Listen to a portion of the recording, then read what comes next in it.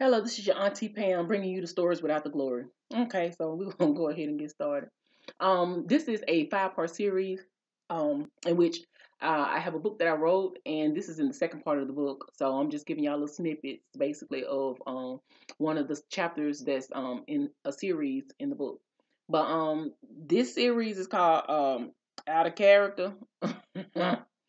it's called Out of Out of Character. I didn't care anymore because of what was going on at the time in my surroundings. Um, for those that don't know, I didn't mention it, but yeah, I am a Christian, and um, I at this point I really got out of character because I was sort of tired of what was happening, what was going on in the environment, and then on top of that, you know, y'all starting to pick at me, so.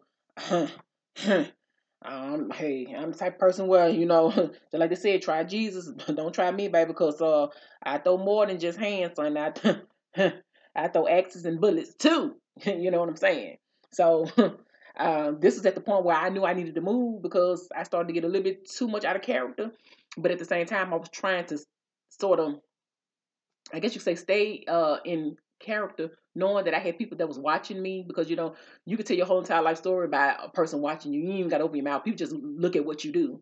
And at that time, um, I was going to work, coming back home. I wouldn't bother nobody. You know, I speak, hey, how you doing? If you needed help, I'll go ahead and help you. You needed uh, advice, I'll go ahead and give you advice. Um, you needed a meal, I cooked uh, all the time, so I didn't mind about, you know, giving meals to people, uh, you know, they stayed over there, whatever. For the most part, I think for like two of them years, I was feeding the drug dealers on the weekend. So, you know, like I said, that's just me.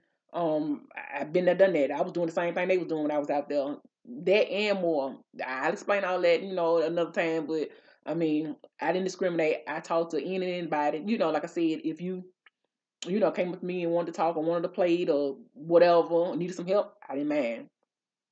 So, you know, just with that being said, I didn't feel that you needed to mess with me. Don't mess with me. I'm not gonna mess with you. Don't mess with my items. Don't mess with my stuff. I'm not gonna mess with you. Cause like I said, uh, try Jesus is not me. Try Jesus is not me.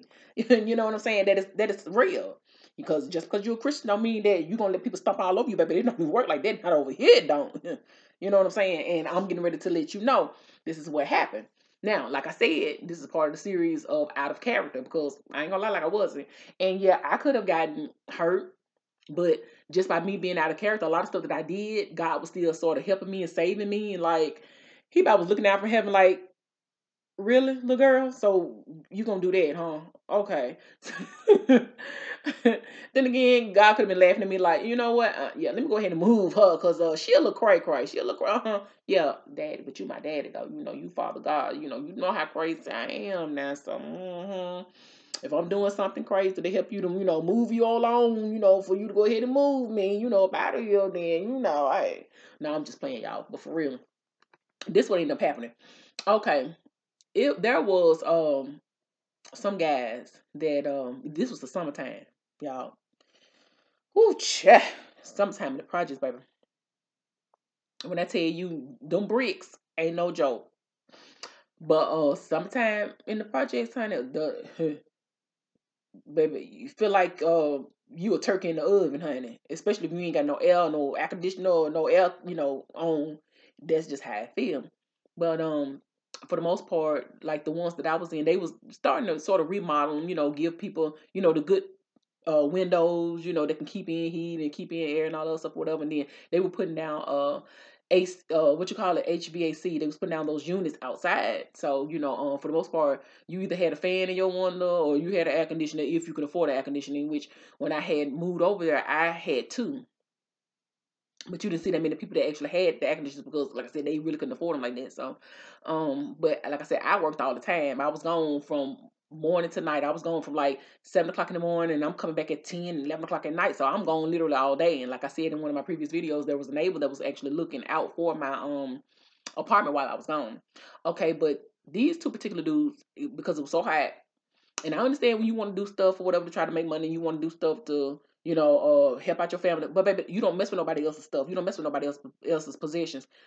Be an entrepreneur and think about what you need to do or what you need to start or go and get you a job. You know what I'm saying? Don't be running around here stealing from other people. You know, because that's dangerous enough just stealing from other folks, son, because, you know, people don't play like that. But anyway, especially when it's hot. For some reason, honey, when people get hot and heated, honey, they turn into wolves around here. But anyway, these two dudes call themselves going to different people apartments, and when they knew that they was gone, they was taking their air conditioners out the window. Mind you, uh, when I had first moved over there, my friend had bolted mine down. So I wasn't worried about y'all trying to take mine anyway, because we had some of the screws up in it, baby. Uh, yeah, I don't even think Bruce Lee could have kicked that out the window. You know what I'm saying? so yeah, mine was bolted down, so I really wasn't worried about my air conditioner getting stole. But at the same time, you ain't gonna business messing with my stuff anyway. So um, what happened was the lady had told me she stayed across the parking lot, and she had a clear view of everything, right?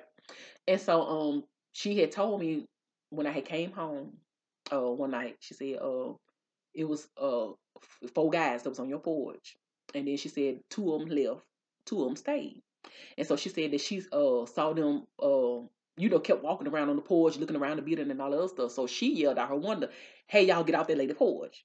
So they ended up walking back around the corner. She didn't know who they were because you know uh they had their face and stuff covered up. Okay, and so she said after that um well, when I came home, she ended up telling me what was going on, what happened, and you know, the guy was on your porch, blah blah blah. And so after that,